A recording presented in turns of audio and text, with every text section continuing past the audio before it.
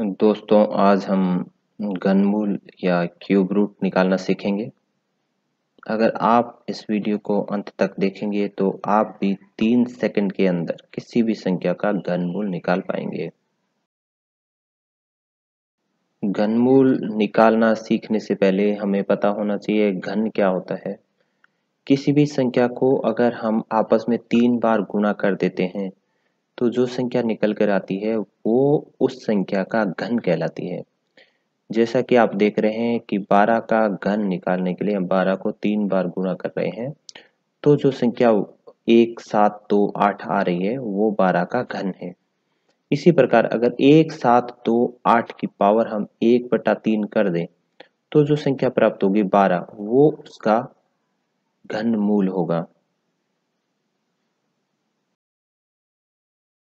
अब आपको एक चीज़ है जो याद करनी है, वो है एक से दस तक के घन हम याद करेंगे। एक से दस तक में आप देखेंगे, छह तक ज़्यादा मुश्किल नहीं है, वो हर किसी को याद होंगे। सात, आठ, नौ और दस का घन आप याद कर लेंगे।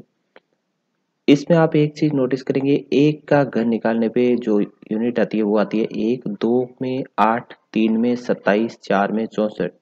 पाँच में एक सौ पच्चीस छः में दो सौ सोलह, सात में चार तीन सौ तैयलीस आठ पाँच सौ बारह, नौ सात सौ उनतीस और दस वन थाउज़ेंड तो अगर किसी संख्या का, इकाई का अंक चार है तो उसका घनमूल होगा, वो चार होगा, उस घनमूल में भी इकाई का चार होगा। अगर किसी संख्या में इकाई का अंक छः है, जैसा कि 216 में है तो उस संख्या की, के घनमूल की इकाई का अंक भी छः होगा।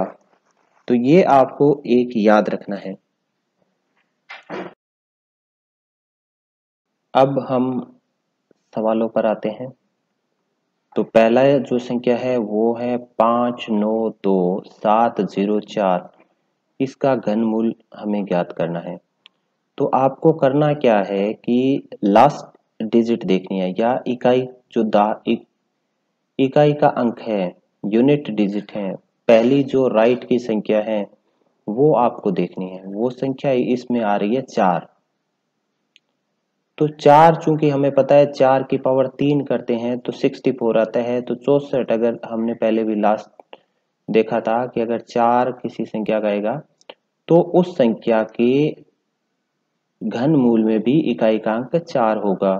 तो हमें पता चल गया, जो घन मूल आएगा, उसका भी जो राइट डिजिट होगी जो राइट वाली साइड में फ़र्स्ट डिजिट होगी, या उस घनमूल का इकाई का अंक होगा, वो चार होगा। अब दूसरा आपको करना क्या है कि इसमें लास्ट के तीन डिजिट पे एक कोमा लगा देना है। तो 704 के बाद एक कोमा लगाएँगे तो पीछे लेफ़्ट साइड में पाँच नौ दो बचेगा। अब क्या करना है कि पाँच नौ दो के आपको देखना है, पाँच नौ दो किन दो के घन के बीच में आता है। तो पाँच नौ दो है, वो आठ के घन, जो कि पाँच सौ बारह है, और नौ का घन, जो कि सात सौ उनतीस है, के बीच में आता है। तो हमने जो चार पहले निकाला था, अब चार के लेफ़्ट साइड में आठ को रख देना है। तो इस प्रकार पाँच नौ दो सात ज़ीरो चार है, उसका घनमूल होगा वो एट्टी फोर या चौरासी होगा, जो कि हमारा उत्तर होगा। अब हम एक सवाल और लेते हैं। वो है three double zero seven six three का घनमूल हमें ज्ञात करना है। तो हम इसमें देखेंगे राइट की जो साइड में फ़र्स्ट डिजिट है, वो है तीन। तो हमें पता है कि सात का जब हम घन करते हैं तो तीन सौ तैयलीस है, उसके भी राइट में तीन होता है। अतः जो घन मूल आएगा, उसमें इकाई का अंक होगा, वो होगा सात। अब हमें दूसरा जो अंक है वो निकालना है तो वो हम वही करेंगे। लास्ट के थ्री डिजिट या राइट साइड से तीन डिजिट है, उसके बाद हम कोमा लगाएँगे। तो राइट साइड से तीन डिजिट है सेवन सिक्स थ्री तो उसके बाद कोमा लगा देते हैं तो लेफ़्ट में जो बचता है वो है थ्री डबल ज़ीरो अब हमें देखना है थ्री डबल ज़ीरो जो आया है, वो किन दो संख्याओं के घन के बीच में आ रहा है? तो आपको पता होगा, छह का जो घन होता है, वो होता है दो एक छ दो सौ सोलह और सात का जो घन होता है, वो होता है तीन, चार, तीन या तीन सौ तैयलीस। तो जो दहाई का अंक होगा, वो क्या आएगा? छ आ जाएगा। इनमें दोनों में जो छोटी संख्या होगी तो वो आपका दहाई का अंक होगा। तो इस प्रकार three double zero seven six three का घन मूल होगा, वो होगा सिक्सटी सेवन अब मैंने कुछ इधर सवाल लिखे हैं और देखते हैं कि आपकी जो अब तक की प्रैक्टिस थी हमारी, वो कितनी कारगर साबित हुई है। तो आप वीडियो को पॉज कीजिए और इनको, सवालों को दिमाग में करने की कोशिश कीजिए और देखिए कि आप अच्छे से कर पा रहे हैं और नहीं कर पा रहे हैं। अगर नहीं कर पा रहे हैं तो आप वीडियो को दोबारा से एक बार और देखें। तो आपको पता चलेगा आप कहाँ पे गलती कर रहे थे। राइट साइड में जो क्यूब्स दिए हुए हैं, उससे आप यूनिट डिजिट देख सकते हैं। अगर आपने पहले याद नहीं कर रखा है, इनको आपको याद करना होगा तो आप यूनिट का डिजिट देख सकते हैं। जैसे हम यहाँ पे देखते हैं, पहला जो है five five one three six eight इसमें लास्ट की जो डिजिट है, वो एट आ रही है। अतः हमारा जो भी इसका घन मूल होगा, वो हम इधर देखेंगे राइट साइड में, कि राइट साइड में एट कहाँ पे आ रहा है? एट आ रहा है दो का क्यूब तो फ़र्स्ट जो है 368 के जो संख्या वाला है, उसका जो घन मूल निकलेगा, उसमें भी इकाई का अंक होगा, वो होगा दो। और दहाई के अंक के लिए आपको पता है, हम 551 के बीच को देखेंगे, ये किसके बीच में आ रहा है, उसके हिसाब से निकालेंगे। तो आप वीडियो को पॉज कीजिए और इसको देखिए।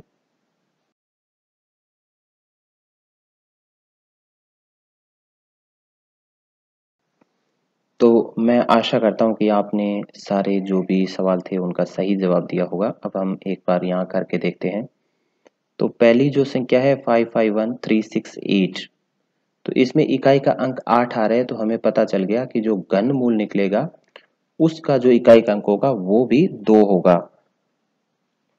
अब हम इसके बीच में कोमा लगाएँगे five five one and three six eight के लास्ट की थ्री डिजिट देख करके कोमा लगा देंगे। लेफ़्ट साइड की डिजिट को हम नहीं देखते, वो तीन भी हो सकती है, चार भी हो सकती है। तो लास्ट की तीन डिजिट थ्री सिक्स एट के बाद कोमा लगाई तो फाइव फाइव वन बचा। अब हम देखेंगे फाइव फाइव वन किसके बीच में आ रहा है?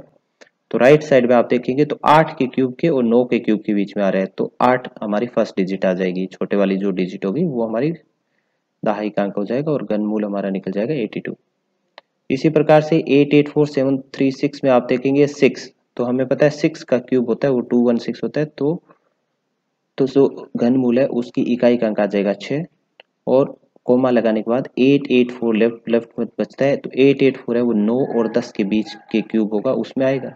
तो हमारा घन मूल है, उसमें जो दहाई का अंक है, वो नौ आ जाएगा। Similarly one four eight eight double seven में भी आप देखेंगे लास्ट का डिजिट है, वो सेवन आ रहा है और हम देखते हैं राइट में कि थ्री का क्यूब करते हैं, उसमें ट्वेंटी सेवन आ रहा है। तो जो घन मूल निकलेगा, उसमें इकाई का अंक रहेगा तीन और बाकी जो तीन डिजिट बची है वन फोर एट वो किन दो घन के बीच में आती है? वो आती है पाँच के और छह के बीच में। तो पाँच और छह के बीच में आई है तो हम छोटे वाली संख्या जो पाँच है, उसको ले लेंगे तो हमारा घनमूल निकल जाएगा फिफ्टी थ्री इसी प्रकार से अगली जो संख्या है four three eight nine seven six इसमें इकाई का अंकार है छः तो हम देखेंगे छः किसमें आएगा? छः की पावर तीन करते हैं, दो सौ सोलह आता है तो हमारे यूनिट जो घन मूल का आएगा, वो आएगा छः और बाकी जो तीन डिजिट बची है फोर थ्री एट वो किसके बीच में आएगी? सात और आठ के बीच में आएगी। सात का क्यूब होगा तीन सौ तैयलीस और आठ का क्यूब होगा पाँच सौ बारह। तो इसमें छोटी वाली संख्या है सात तो हम सात ले लेंगे तो उत्तर आ जाएगा हमारा सेवेंटी सिक्स अगली जो संख्या है, वो है seven zero four nine six nine इसमें क्या है? लास्ट का डिजिट आ रहा है नाइन तो हमें पता है नौ की पावर तीन करते हैं, या नौ का घन करते हैं तो सात सौ उनतीस आता है। तो जो घनमूल होगा नाइन सिक्स नाइन वाली संख्या का, उसकी जो यूनिट होगी, या इकाई का अंक होगा, वो होगा नौ। और दहाई का अंक निकालने के लिए हम लास्ट की तीन डिजिट को हटा देंगे, बचा सात सौ चार। तो सात सौ चार में हम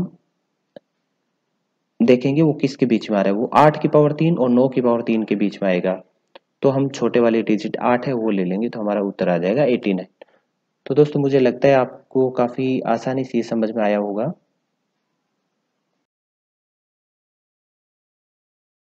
आपने देखा होगा कि क्या ये सिर्फ़ दो डिजिट तक के घनमूल के लिए ही होता है। तो हम एक अगला निकालते हैं, जिसमें डिजिट हैं टोटल सात। तो सात डिजिट वाली संख्या का घनमूल निकालेंगे। तो सात डिजिट की हमने संख्या ली है। एक, चार, आठ, एक, पाँच, चार चार। तो अब हम वही चीज़ करेंगे। इसके लास्ट का जो डिजिट है वो आ रहा है चार। तो हमें पता है कि चार की पावर तीन, चार करते हैं तो सिक्सटी फोर आता है। अतः जो इस one four eight one five four four है, इसका जो भी घन मूल निकलेगा, उसमें इकाई अंक होगा, वो होगा चार। अब हमें बाकी जो भी डिजिट्स है वो निकालनी है। सिंस इसमें चार डिजिट है लास्ट की तीन डिजिट काटने के बाद तो हमने जैसा पहले कर रहे थे, वैसे ही लास्ट की तीन डिजिट है, इसकी फाइव फोर फोर इनको हम क्या करेंगे? काट देंगे। तो हमारे पास डिजिट बचती है वन फोर एट वन अब हम देखेंगे वन फोर एट वन है, वो किन दो संख्याओं के घन के बीच में आता है? तो आपको दोस्तों इसके लिए आगे के जो है, वो घन याद करने पड़ेंगे। तो 11 का घन आप देखेंगे तो वो होता है वन थ्री थ्री वन और 12 का जो घन होता है, वो होता है वन सेवन टू एट तो 11 और 12 के बीच में ये संख्या आ रही है हमारी, जो 1481 है वो। तो हम क्या करेंगे, इसमें छोटे वाली संख्या ले लेंगे तो छोटे वाली संख्या आ गई हमारी 11 तो हम चार इकाई का अंक था, उसके लेफ़्ट साइड में 11 रख देंगे। तो इस प्रकार हमारी जो 1481544 है, उसका घन आएगा, वो आएगा 114 या 114 होगा। तो आप इससे किसी भी संख्या का घन मूल निकाल सकते हैं। कृपया आपको अगर वीडियो अच्छा लगा हो तो आप सब्सक्राइब करें वीडियो को लाइक करें और बेल आइकन को क्लिक करें ताकि जैसे ही नया वीडियो आएगा तो आपको पता चल जाएगा। इस पे हम नियमित रूप से नए नए वीडियोस डालते रहेंगे जिससे आपको किसी भी प्रकार के किसी ट्यूशन सेंटर या कोचिंग सेंटर में अपने पैसे बर्बाद करने की ज़रूरत नहीं पड़ेगी। और आप डायरेक्ट यहाँ से देख करके अपने सारे सवाल हल कर पाएँगे। इसमें मैं बहुत जल्दी और भी सुविधाएँ ऐड करने वाला हूँ ताकि आपके सामने कोई भी क्वेरीज हो तो उसका तुरंत जवाब लाइव उसका मैं स्टेटस ऐड करने वाला हूँ ताकि आप लाइव उसका सवाल पूछ सकें और उसका हल आपको उपलब्ध करवाया जाएगा। धन्यवाद। दोस्तों, अगर आपको मेरा ये वीडियो पसंद आया हो तो कृपया सब्सक्राइब करना ना भूलें चैनल को और वीडियो को लाइक भी करें और आप बेल आइकन है, उसको भी क्लिक करें ताकि जो भी नया वीडियो आएगा, वो आपको नोटिफिकेशन में मिलता रहेगा। धन्यवाद। दोस्तों, मैं आशा करता हूँ कि आपको मेरा ये वीडियो पसंद आया होगा। आप घनमूल आसानी से निकालना सीख गए होंगे। हम और भी शॉर्ट ट्रिक्स के वीडियोस इसमें लाते रहेंगे और आप वीडियो को सब्सक्राइब कीजिए लाइक कीजिए शेयर कीजिए।